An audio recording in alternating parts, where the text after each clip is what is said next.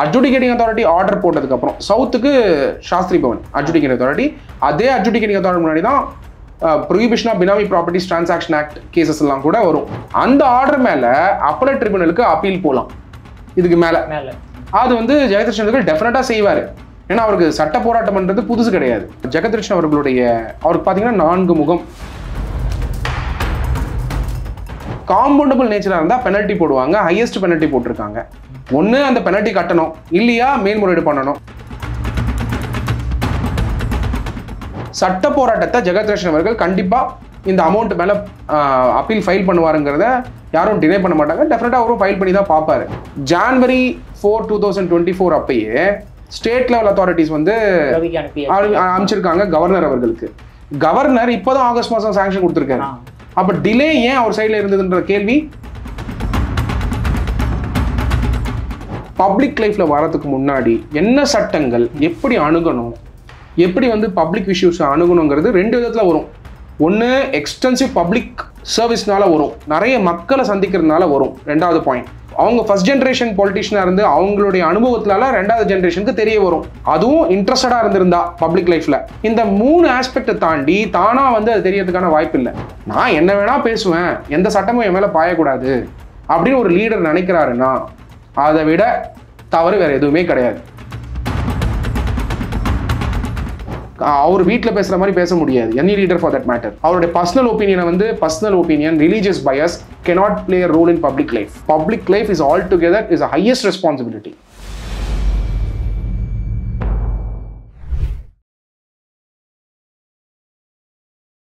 இளைய பாரதம் நேர்களுக்கு வணக்கம். இன்னைக்கு நம்ம நேர்காணலில் சிறப்பு விருந்தினராக நம்மளோட இணைஞ்சிருப்பது யாருன்னு பார்த்தீங்கன்னா உச்சநீதிமன்றத்தின் வழக்கறிஞரான டாக்டர் சத்யகுமார் சார் தான் நம்மளோட இணைஞ்சிருக்காரு. ஸோ அவரோட அன்போடு வரவேற்போம் சார் வணக்கம் சார். வணக்கம் விக்ரம். சார் இப்போ ஜெகத் ரட்சன் அவர்களுக்கு தொள்ளாயிரத்தி எட்டு கோடி ரூபா வந்து இடி வந்து ஃபைன் பண்ணியிருக்காங்க சார். ஆக்சுவலாக எக்ஸாக்டாக எதனால் தொள்ளாயிரத்தி எட்டு கோடி ரூபாய்ன்ற அமௌண்ட் அவங்க ஃபிக்ஸ் பண்ணுறாங்க எண்பத்தொம்பது கோடி ரூபா அவங்க வந்து முடக்கி வச்சிருக்கிறதாவும் சொல்லப்படுது சார். எதனால் இந்த விஷயம்? இது பார்த்தீங்கன்னா இந்த இஷ்யூ ஆகப்பட்டது ரெண்டாயிரத்தி பதினேழுலேருந்து ஸ்டார்ட் ஆகுது விக்ரம். இந்த இஷ்யூ ஆகப்பட்டது எந்த சட்டத்தின் கீழே வருதுன்றது ரொம்ப அவசியம். ஏன்னா தொள்ளாயிரத்தி எட்டு கோடி பெனல்ட்டி லிவி பண்ணியிருக்காங்கன்றது தான் ஹெட்லைன்ஸாக பார்க்க முடிஞ்சுது. பட் எந்த சட்டம்ங்கிறத ரொம்ப அவசியமாக பார்க்க வேண்டியது நான் பேர் வந்து சட்டவிரோத பண பரிமாற்றம் கீழேயா? இல்லை ஃபெமா கீழேயா? இல்லை இன்கம் டேக்ஸா நான் ரீசெண்டாக அவருடைய ப்ரிமைசஸ்லாம் இன்கம் டேக்ஸ் ரேடும் நடந்தது. அப்படிங்கும்போது எந்த சட்டத்தின் கீழே இதை போட்டிருக்காங்க?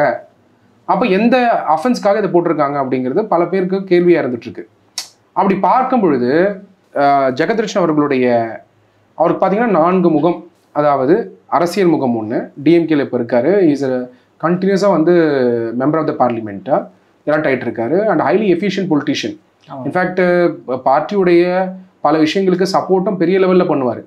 ரெண்டாவது க- அவர் எஜுகேஷன் இன்ஸ்டியூஷன் நடத்துறாரு. சேரிட்டபிள் இன்ஸ்டியூஷன் மாடல் நடத்திட்டு இருக்காரு.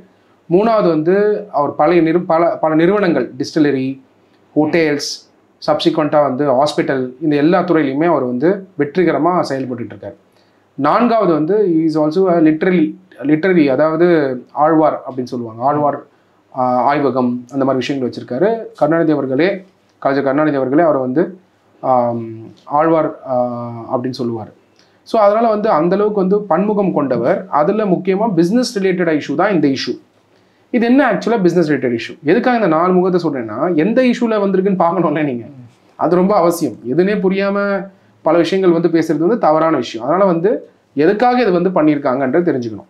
ரெண்டாயிரத்தி பதினேழில் somewhere in two thousand seventeen June மாதம் காலங்களில் ஒரு டிரான்சாக்ஷன் என்டர் பண்ணுறாங்க அந்த டிரான்சாக்ஷன் என்டர் என்டர் பண்ணப்பட்டதாகப்பட்டது சிங்கப்பூரில் இருக்கக்கூடிய ஒரு நிறுவனம் சில்வர் பார்க் இன்டர்நேஷனல் பிடி லிமிடெட் அதில் ரஃப்லி ஒரு 70 லேக் ஷேர்ஸ் வந்து சப்ஸ்கிரைப் பண்ணியிருக்காங்க.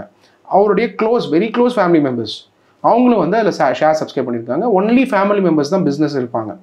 அவங்க வந்து பார்த்தீங்கன்னா ஷேர் சப்ஸ்கிரைப் பண்ணதில் சிங்கப்பூரில் வந்து section four of the foreign exchange management act section four of the foreign exchange management act. FEMA nineteen ninety nine இந்த ஃபெமா ஆகப்பட்டது அந்நிய செலாவணி மோசடிகள்லாம் இதில் வரும். இது எப்படி அந்நிய செலாவணி மோசடி அப்படிங்கிறத நீங்கள் யோசிப்பீங்க. ஏன்னா இப்போ ஜெகதர்ஷன் அவர்கள் பொறுத்த வரைக்கும் இங்கே ஒரு ஷேர்ஸ் வாங்குறாங்கன்னா யாரோட பர்மிஷன் அவர் வாங்கணும்? அது எப்படி கான்ட்ரவேஷன் ஆகும்? ஆனால் ஃபெமா படி சிங்கப்பூரில் ஒரு கம்பெனியில் ஷேர்ஸ் வாங்குறது ரிசர்வ் பேங்க் ஆஃப் இந்தியாவோட பர்மிஷனை வாங்கியிருக்கணும்.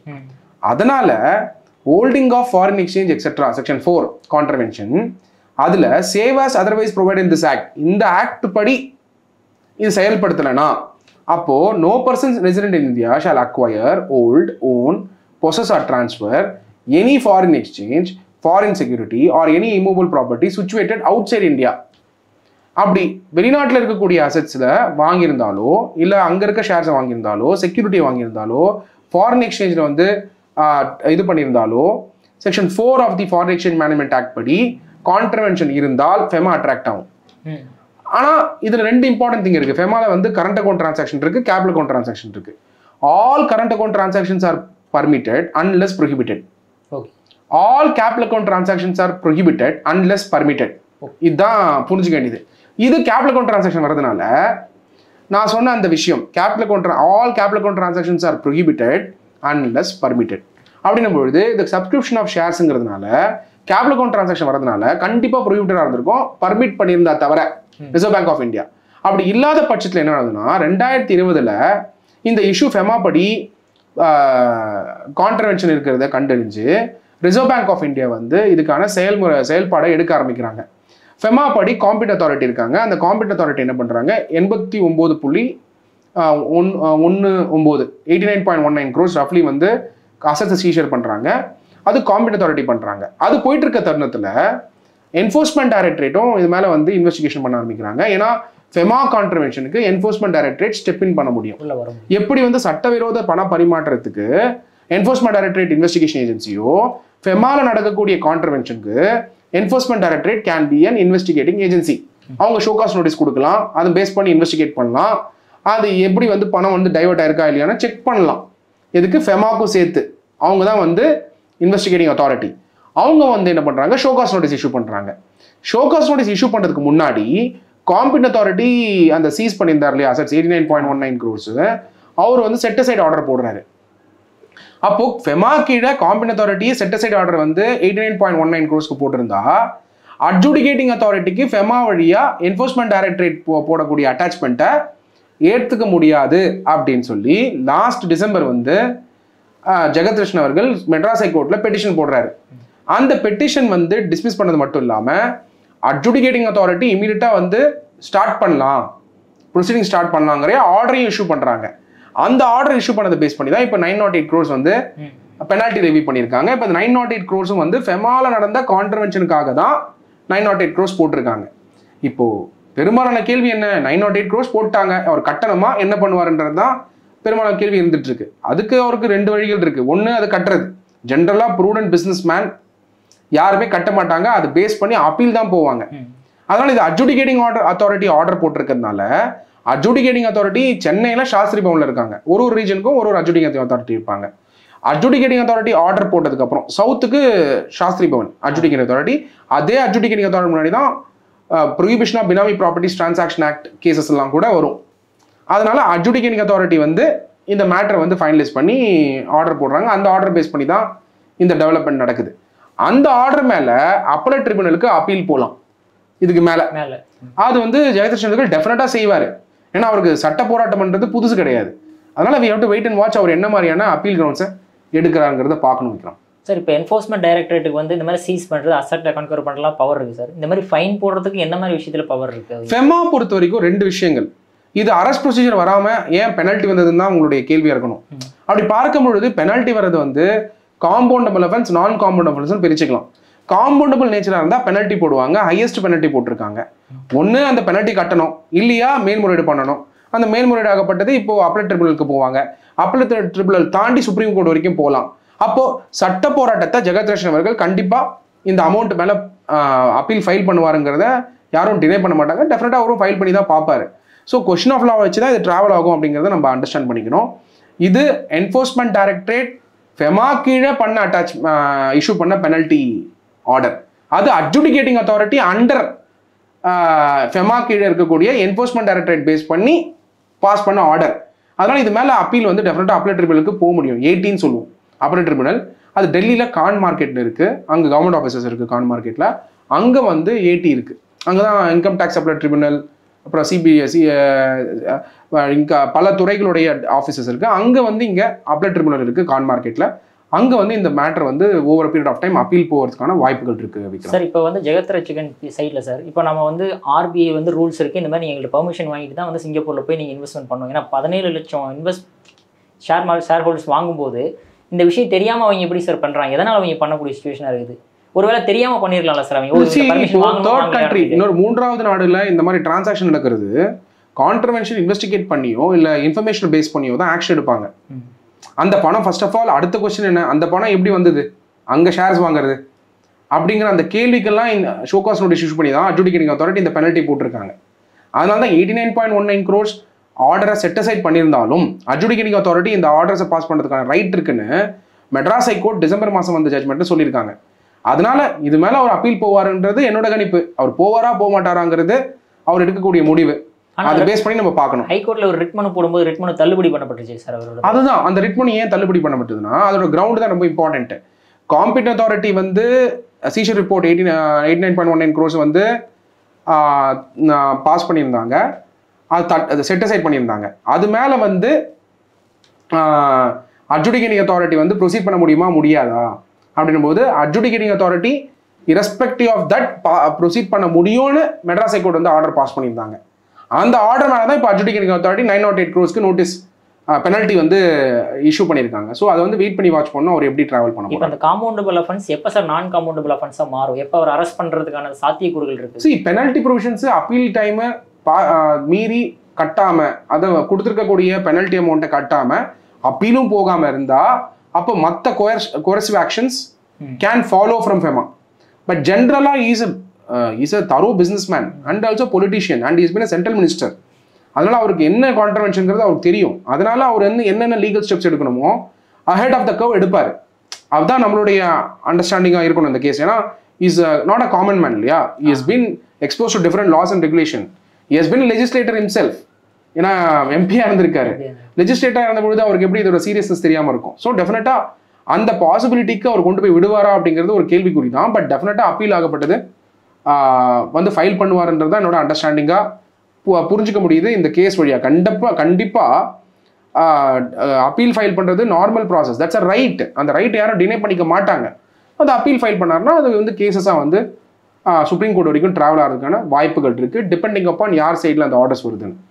டிபார்ட்மெண்ட் சைடில் ஆர்டர் ஃபேவரபிள் ஆனால் அவங்க அப்பீல் போக போகிறாங்க இவருக்கு ஃபேவரபிள் இல்லைன்னா இவர் அப்பீல் போக போறாரு. But appeal is a ground that is available for both வரக்கூடிய நாட்கள்ல. So we have wait and watch எப்படி நடக்குதுன்னு. சார் அதே மாதிரி நம்ம என்ஃபோர்ஸ்மெண்ட் டைரக்டர் இந்த பக்கம் செந்தில் பாலாஜி அவர்கள் ஒரு நேற்றுக்கு சுப்ரீம் கோர்ட் கேட்கும்போது ஒரே ஒரு கொஸ்டின் கேட்குறேன். எதனால கவர்னர் வந்து இன்னும் விசாரணைக்கு வந்து பர்மிஷன் கொடுக்காம இருக்காருன்னு கவர்னர் ரவி எப்படி சார் அவருக்கு கொஸ்டின் பண்ணலாங்க சுப்ரீம் கோர்ட் ஏன் அவர் கொஸ்டின் பண்ணது என்ன இருக்கு ஏன்னா அவர் கையில வச்சிருந்தாரா என்ன? Supreme court can question Vikram supreme court can question anybody supreme court is ultimate Vikram இதில் நம்ம தெரிஞ்சுக்க வேண்டியது என்னென்னா whether it is president whether it is prime minister whether it is governor whether it is member of the legislative assembly whether it is MP whether it is three times prime minister or two point two times prime minister does not matter before judiciary before supreme court article fourteen works article ஃபோர்டீனில் equality of law equal protection of laws so அந்த கிரவுண்டை நீங்கள் பார்க்கும் பொழுது கவர்னராக இருந்தாலும் சரி chief மினிஸ்டராக இருந்தாலும் சரி கேள்வி கேட்குற பவர் சுப்ரீம் கோர்ட்டுக்கு இருக்கு. ஏன் சார் கவர்னர் ரவி இத்தனை நாள் வந்து பர்மிஷன் கொடுக்க அதுதான் எனக்கே ஆச்சரியமா இருந்தது. சி நீங்க கேட்குற கேள்வி வந்து எனக்கே நியூஸா இருந்தது. காரணம் என்னன்னா ஜென்ரலா நம்ம என்ன நினைப்போம்? ஸ்டேட் தான் பர்மிஷன் வாங்குறதுக்கான அப்பீ அப்பீல் கொடுத்துருக்க மாட்டாங்கன்னு. ஆனா நீங்க பார்த்திருப்பீங்க பிரத பிரபல நாளிதழ் நாளிதழ்கள்ல January four two thousand twenty four அப்பயே ஸ்டேட் லெவல் அத்தாரிட்டிஸ் வந்து ரவிக்கு அனுப்பி அனு- அமைச்சிருக்காங்க கவர்னர் அவர்களுக்கு. கவர்னர் இப்போதான் ஆகஸ்ட் மாசம் சாங்ஷன் கொடுத்துருக்காரு. அப்ப டிலே ஏன் அவர் சைடுல இருந்ததுன்ற கேள்வி வரதான் செய்யும். ஆனா நம்மளுக்கே தெரியாம இருந்தது தான் ஆச்சரிய ஆச்சரியமா இருந்தது. காரணம் we have been tracking the cases. பார்க்கிறோம் நம்ம டெவலப்மெண்ட்ஸை பார்த்துக்கிட்டே இருக்கிறதுனால. ஸோ அப்போ ஏன் கொடுக்கல அப்படிங்கிறது it's private to his office கவர்னருக்கு மட்டும்தான் அது தெரியும். அவர் it's it's a matter private to his office so நம்ம வந்து வி cannot say ஏன் கொடுக்கல ஏன் கொடுக்க கொடுக்கலன்னு. பட் கோர்ட் வந்து இந்த டிலேவை ஹைலைட் பண்ணியிருக்காங்க. சுப்ரீம் கோர்ட் வந்து இந்த டிலேவை அப்சர்வேஷனாக ஹைலைட் பண்ணியிருக்காங்க. அதனால ப்ராசிக்யூஷன் சாங்ஷன் ஏன் டிலே ஆச்சு அப்படிங்கிற ரீசனிங் கொடுக்கல. அதுக்கான பெட்டிஷனும் கால் ஃபார் பண்ணல. டிலேடு கிராண்டிங் ஆஃப் சாங்ஷனிங் தான் ஹைலைட் பண்ணியிருக்காங்க. செவன் மந்த்ஸ் அதனால இது எதனால் நடந்திருக்குன்றது வந்து it's a private use office which we may not know அப்படிங்கிறது நம்மளோட பாயிண்ட் கவர்னர் ரவி வந்து அவர் செந்தில் பாலாஜி மினிஸ்டரா இருக்காருன்னு சொன்னதே அதுவே ஏத்துக்க மாட்டேன்னு சொன்னார் ரவி அவர்கள். பட் ஆனா இப்ப பாத்தீங்க அப்படின்னா அவர் சாங்ஷனே கொடுக்காம வச்சிருந்திருக்காரு. உங்களுக்கு என்ன கேள்வி இருக்கோ அதே கேள்வி தான் என்கிட்ட இருக்கு. பட் இந்த கேள்வி யார்கிட்ட போய் கிளாரிஃபை பண்றது எனக்கு தெரியல. பட் பேப்பரை பார்க்கும்போது அதான் சொன்னேன். The the matter is privy to his office ஏன் வந்து ஒரு சாங்ஷன் கொடுக்கல? செவன் மந்த்ஸ் அப்படிங்கிறது வந்து எதனால சாங்ஷன் கொடுக்காம போனாரு? By the way he himself is an IPS officer so he should know he will be knowing what is the ப்ராசிக்யூஷனுடைய அந்த பவர்ஸுங்கிறது அப்போ கொடுக்கணுமா கொடுக்க வேணாமான்னு டெஃபினட்டாக ஃபார் இஸ் நாலேஜ் லெவல் இது அவருக்கு தெரிஞ்சிருக்கணும். பட் அதை மீறியும் அவர் டிலே பண்ணியிருக்காரு செவன் மந்த்ஸ்னா எதுக்காக பண்ணியிருக்காரு அப்படிக்கான விடை சுப்ரீம் கோர்ட் பற்றி கேட்கல அதனால it is a matter private his office ஒரு சமயம் நாளைக்கு ரவி அவர்களை கேட்டு அவர் வந்து சுப்ரீம் கோர்ட்டில் ஃபைல் பண்ணாருன்னா அதை வச்சு வேணா நம்ம சொல்லலாமே தவிர நம்ம வந்து எதுவுமே வந்து எதனால அவர் டிலே பண்ணார் நம்ம எப்படி சொல்ல முடியும்? ஒருவேளை இன்னும் கொஞ்சம் சேர்த்து ஜெயிலே இருக்கலாம் அப்படின்ற மாதிரி. அப்படி கிடையாது. ப்ராசிக்யூஷன் சாங்ஷன் வந்து கொடுத்தா ஸ்பீடி ட்ரையல் நடக்கிறதுக்கான வாய்ப்பு இருக்கு. ட்ரையல் கமெண்ட்ஸ் ஆனதுக்கான வாய்ப்பு இருக்கு. பட் அதுலயே செந்தில் பாஜோட கேஸ்ல இப்போ நிறைய சிக்கல்கள் இருக்கு சட்ட சிக்கல்கள். ப்ரெடிகேட் அஃபென்ஸ் முன்னாடி முடிக்கணுமா? ப்ரிவென்ஷன் மணி லாண்டரிங் ஆக்டோடைய ட்ரையல் ஸ்டார்ட் ஆக முடியுமா? ப்ரெடிகேட் அஃபென்ஸ் மூணு இருக்கு அதை கிளப் பண்ணணுமா? இல்ல சார்ஜ் ஷீட்டை ஸ்பிட் பண்ணணுமா? ஏகப்பட்ட கொஸ்டின் ஆஃப்லாம் செந்தில் பாஜோ கேஸ்ல டிராவல் ஆயிட்டு இருக்கு. இதுக்கு நடுவில் அவர் பெயிலும் போட்டிருக்காரு. சுப்ரீம் கோர்ட்ல இன்னும் பெயில் டிசைட் ஆகல. So supreme court is ultimate authority to decide ultimate place to decide where whether will get a bail or not அதை நம்ம வெயிட் பண்ணி தான் வாட்ச் பண்ணோம் nobody can speculate about it nobody can predict about it it's ultimately the supreme court judgment that is to be looked upon by the everybody so we are all looking forward for the judgment of the supreme court supreme court judgment வந்தால் பார்க்க முடியும். Sir அதே மாதிரி supreme. Court ஒரு observation கொடுக்கும்போது அதாவது கீழ் நடக்கக்கூடிய இந்த கோர்ட் விஷயங்களை டெய்லி பேசிஸ் நாங்க வந்து உள் நாங்க வந்து பார்ப்போம் அப்படின்றாங்க. எந்த விஷயம் மாதிரி விஷயங்கள பார்ப்போம் சார்? ஏன்னா சுப்ரீம் கோர்ட்டே வந்து கீழ் நடக்கக்கூடிய கோர்ட்டை நாங்க டெய்லி பேசிஸ் நாங்க நீங்க என்ன விசாரணை பண்றாங்க பார்ப்போம் அப்படின்றாங்க சார். எப்படி சார் அது முடியும் அது? நீங்க அந்த கான்டெக்ட் இது வந்து con- ஒரு ஒரு விஷயமும் நீங்க சுப்ரீம் கோர்ட்ல வர்றது ஹேஸ் அ ஹோல் பார்க்கணும். நான் நிறைய ரிப்போர்ட்டிங் ஆகும்போது நான் பார்க்குறேன். சுப்ரீம் கோர்ட் வந்து ஒரு வார்த்தை சொன்னதை மட்டும் ரிப்போர்ட் பண்றீங்க. ஆ. பட் இது என்ன ஆக்சுவல் ஃபேக்ட் ஒரு பெட்டிஷன் போடுறாங்க. என்ன பெட்டிஷன் போடுறாங்கன்னா ஸ்பெஷல் பப்ளிக் ப்ராசிக்யூட்டர் வேணும். சிந்துபாஜ் அவர்கள் கேஸில் அப்புறம் ஜட்ஜ் வேணும் அப்படிங்கிறது இருந்தது. சுப்ரீம் கோர்ட் என்ன சொல்லிட்டாங்கன்னா எல்லா கேஸ்க்கும் special public prosecutor separate judge appoint பண்ண முடியாது. செந்தில் பாலாஜியோட பெரிய கேசஸ்லாம் இன்னும் இருக்குது அதனால் அந்த பெட்டிஷனை ஏற்க ஏற்கப்படாதுன்னு சொல்லி சுப்ரீம் கோர்ட் சொல்லிட்டாங்க. சொல்லிட்டு சுப்ரீம் கோர்ட்டோட கண்காணிப்பில் இருக்கும். அதுக்கு மேலே என்ன இருக்குன்றது தான் அவங்களோட பாயிண்ட் இதை எப்படி நீங்கள் எல்லாரும் பார்க்குறீங்க? சுப்ரீம் கோர்ட்டோட கண்காணிப்பில் ஒரு ட்ரையல் நடக்கும் அப்படின்றது நம்ம பேப்பர்ஸ்லையும் அங்கேயும் இங்கேயும் பார்க்க முடியுது. But that is not the observation the observation was special public prosecutor appoint பண்ண முடியாது. பேரலாக வந்து ஒரு ஒரு ஜட்ஜுக்கு ஒரு ஒரு கேஸ்க்கு அப்பாயின் பண்ண முடியாதுன்னு தான் சுப்ரீம் கோர்ட் அப்சர்வேஷன் இருந்துட்டு இருக்கு. அதுல சுப்ரீம் கோர்ட்டே வந்து கேஸை வந்து கண்காணிக்கணும் பொழுது அது சுப்ரீம் கோர்ட் வந்து பார அவங்களுடைய அப்சர்வேஷனை பிளேஸ் பண்ணியிருக்காங்க. அதனால ட்ரையல் வந்து இட் வில் ஹேப்பன் ட்ரையல் நடந்தப்புறம் அப்பீல் கிரவுண்ட்ஸ் இருக்கு. ஹைகோர்ட்டுக்கு இருக்கு சுப்ரீம் கோர்ட் இருக்கு. Definitely does go through the process of law due process of law so அது நடக்கும் அப்படின்றத நம்ம பார்க்கணும் ஆக்சுவலாக அதே மாதிரி சார் இப்போ நம்ம பொன்முடி கேஸில் வந்து பார்த்தோம் அப்படின்னா அவங்க ஆல்ரெடி தண்டனை எவ்வளோ அப்படின்றதெல்லாம் சொல்லிட்டாங்க. ஆனால் சுப்ரீம் கோர்ட் வந்து வயதின் காரணமாக அவரை வந்து நாங்கள் நிறுத்தி வைக்கிறோம் அப்படின்ட்டு. இப்படி வயதை காட்டி நம்மளால வந்து எப்படி சார் வாங்க முடியுது. இல்ல பொன்முடி அவர்களோட கேஸ்ல செஞ்சுட்டு வயதான நாட்களா இருந்தா விட்டுறலாமா? இல்ல பொன்முடி அவர்கள் கேஸ்ல நீங்க you have to see the inside of the case inside என்ன அந்த இன்கிரீடியன்ஸ் என்ன? Observation of the supreme court என்னன்னு பார்க்கணும். பொன்முடி அவர்கள் இங்க கன்விட் ஆகுறாரு பொன்முடி அவர் கன்விட் ஆனது மேல அவரு அப்பீல் போறாரு சுப்ரீம் கோர்ட்ல சுப்ரீம் கோர்ட்ல அப்பீல் போறதுக்கு முன்னாடி சஸ்பென்ஷன் ஆஃப் சென்டென்ஸ் வாங்கி தான் ஆகணும் யாரா இருந்தாலும். சஸ்பென்ஷன் ஆஃப் சென்டென்ஸ் நடக்குது. சஸ்பென்ஷன் ஆஃப் சென்டென்ஸ் நடந்த உடனே அப்பீல் அட்மிட் ஆகுது. அப்பீல் அட்மிட் ஆனா கன்விக்ஷன் ஓவர் டர்ன் ஆகுது. கன்விக்ஷன் ஓவர் டர்ன் ஆகும் பொழுது கன்விக்ஷன் வந்து ஓவர் டர்ன் ஆகல கன்விக்ஷன் நான் ஆப்ரேட்டிவ் ஆகுது. இன்ஆப்ரேட்டிவ் நான் எக்ஸிஸ்டன்ட் கிடையாது இன்ஆப்ரேட்டிவ் கன்விக்ஷன் இன்ஆப்ரேட்டிவா இருக்கிறதுனால அவர் representation of people act nineteen fifty படி is qualified to be an MLA அதுக்கப்புறம் அவர் எம்எல்ஏ ஆயிடுறாரு. எம்எல்ஏ ஆனால் நீங்கள் மந்திரி ஆகலாம். ஸோ சுப்ரீம் கோர்ட்டில் அப்பீல் அட்மிட் ஆயிருக்கு அவருது. அது அவரோட ரைட்டு தானே. அவரோட ரைட்டை அவர் சீக் பண்றாரு. கான்ஸ்டியூஷனல் ரைட்டு அந்த ரெமெடியை அவர் சீக் பண்ணியிருக்காரு. சுப்ரீம் கோர்ட் வந்து is in independence of the judiciary judiciary decide பண்றாங்க. அவர் அப்பீல் அட்மிட் ஆகி சஸ்பென்ஷன் சென்டென்ஸ் வந்து கொடுத்துட்றாங்க. அதனால வந்து கன்விக்ஷன் இன்னாபரேட்டிவா இருக்கு. அந்த பீரியட்ல எம்எல்ஏ ஆகுறாரு. ஸோ இது வந்து சட்டத்துடைய செயல்பாடே தவிர இதுல நீங்க எந்த பொலிட்டிக்கல் கலரும் கொண்டு வரக்கூடாதுன்னு சொல்லுவேன். நீங்க பொதுவாகவே ஜுடிஷியரி பத்தி பேசும்பொழுதோ சட்டத்தை பத்தி பேசும்பொழுதோ இண்டிபெண்டன்ஸ் ஆஃப் த ஜுடிஷியரி பத்தி பேசும்பொழுதோ ஆர்டிகல் டுவெல்ல இருக்கக்கூடிய லெஜிஸ்லேட்டிவ் எக்ஸிக்யூட்டிவ் தான் ஸ்டேட் அவங்களுடைய ஆக்ஷன்ஸ் வந்து கொஷின் பண்ணப்படுது பண்ற இடம் தான் ஜுடிஷியரி.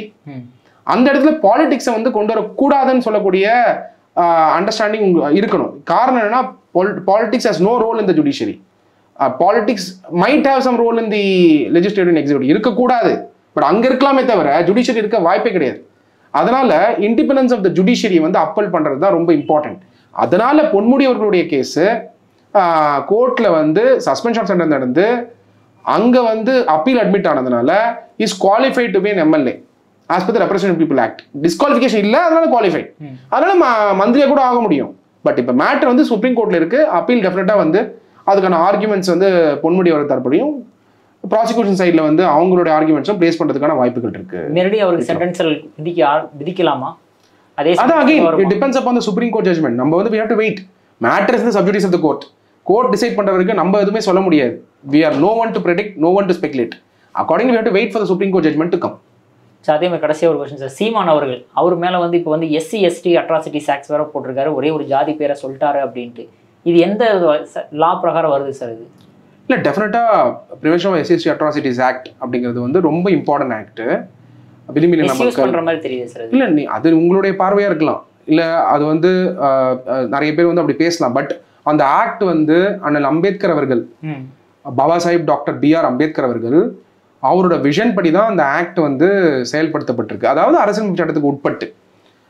யாருமே எல்லாருமே வெரி பப்ளிக் லைஃப்ல இருக்கிறவங்க எல்லாருமே விளிம்பின மக்களுக்கும் மார்ஜினல் பீப்புளுக்கும் டிப்ரீட் பீப்புளுக்கும் ஹைலி ரெஸ்பெக்ட் பண்ணி கமெண்ட்ஸையோ அவரோட உங்களோட ஒப்பீனியன்ஸை கொடுக்கும்பொழுது ஹைலி ரெஸ்பெக்டடாக இருக்கணும். அது ஒரு சமயம் ஒரு செட் செக்மெண்ட் ஆஃப் பீப்புளுக்கு அது பாதிச்சிருக்குன்னா அவங்களுக்கு கிரவுண்ட் இருக்கு. அந்த சட்டத்தில். எஸ்சிஎஸ்டி எஸ்சிஎஸ்டி அட்ராசிட்டிஸ் ஆக்டாக இருக்கலாம். For that matter any other யாருக்கு புண்பட்டாலும் எந்த எந்த சட்டத்தில் வேணாலும் அவங்க வந்து வழக்கு தொடரலாம். பிஏஎல் மாதிரி எந்த எந்த சட்டமாக இருந்தாலும் எந்த சட்டத்தில் ஒரு மனிதருக்கு பாதிப்பு ஏற்படுதோ அந்த சட்டத்தை பேஸ் பண்ணி ப்ராசிக்யூஷன் வந்து அவங்க அந்த ஸ்டெப்ஸ் எடுக்க போகிறாங்க பேஸ்ட் ஆன் கம்ப்ளைண்ட் அதனால் சீமானவர்கள் வந்து அந்த மாதிரி வந்து சொல்லி அதனால் ஒரு செக்மெண்ட் ஆஃப் பீப்புளுக்கு அந்த அவங்களுக்கு வந்து புண்படுத்தியிருக்குன்னா டெஃபினட்டாக சீமானவர்கள் அதுக்காக மன்னிப்பு கேட்கறது ஒரு ரெமெடி ரெண்டாவது வந்து அந்த ஆக்ட் வந்து அவர் மேலே பாய தான் செய்யும். அது மாதிரி புண்படுத்தாமல் பப்ளிக் லைஃப்பில் எல்லா தட்டு மக்களையும் இன்க்ளூசிவாக கொண்டு போகிறது ஒரு ஒப்பீனியன் எக்ஸ்பிரஸ் பண்ணும் பொழுது ஒரு தட்டு மக்களை பாதிக்காமல் எக்ஸ்பிரஸ் பண்ண வேண்டியது ஒரு ஒரு பப்ளிக் லீடரோட கடமை. ஒரு சமயம் அதில் மிஸ் ஆகுதுன்னா அதுக்கு அகேன்ஸ்டாக இருக்கக்கூடிய அவர் பேசுறதுக்கு அகேன்ஸ்டாக இருக்கக்கூடிய சட்டங்கள் பாய தான் செய்யும். அதனால ஒருத்தருக்கு அது பாதிப்பு ஏற்படுது ஒரு புண்பட்டு இருக்காங்கன்னா வந்து அந்த சட்டம் எஸ்சிஎஸ்டி அட்ராசிட்டிஸ் ஆக்ட் அதனால வந்து பாதிக்கப்பட்டவங்க எப்படி வந்து அந்த சட்டத்தை வந்து பயன்படுத்தாம இருக்க மாட்டாங்க. ஸோ டெஃபினட்டா பயன்படுத்துவாங்க. அதனால அவர் மேல அந்த வந்து கேஸ் அந்த ஜாதி பேர் வந்து படங்கள்லயும் சரி மற்ற குலாக்கிய லாங்குவேஜ்லயும் நம்ம யூஸ் பண்ண வேர்டா இருக்குது.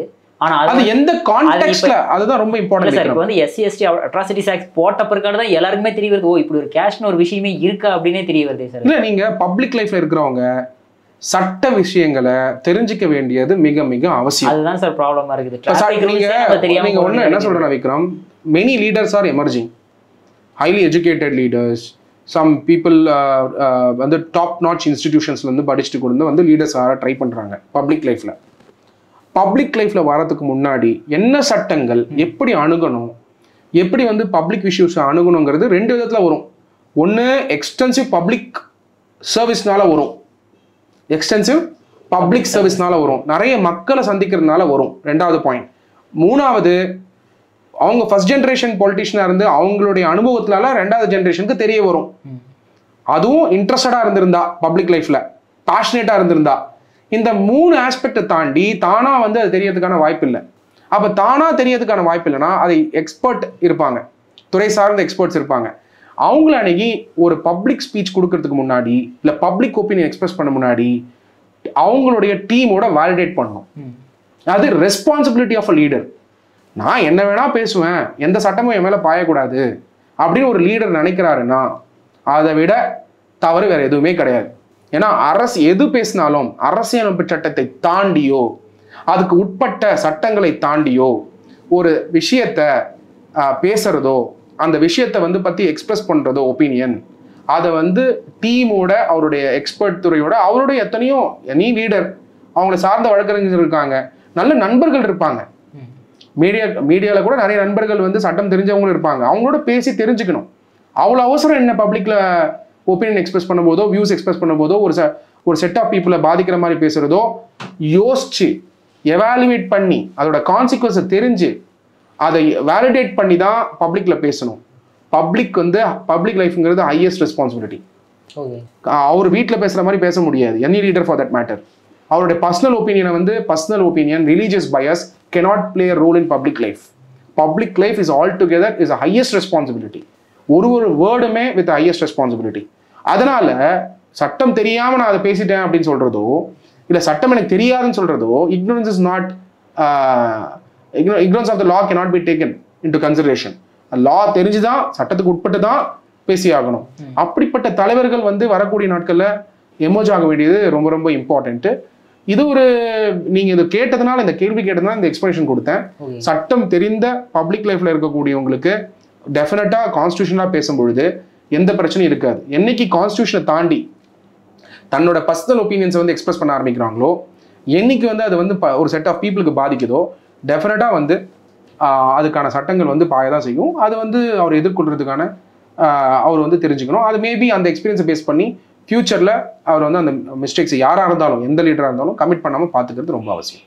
ஓகேங்க சார். சார் உங்களுடைய பல கருத்துக்களை எங்கள் இளைய பாரதம் நேர்களுக்கு ஒதுக்குனதுக்கு மிக்க நன்றி சார். நன்றி விக்ரம்.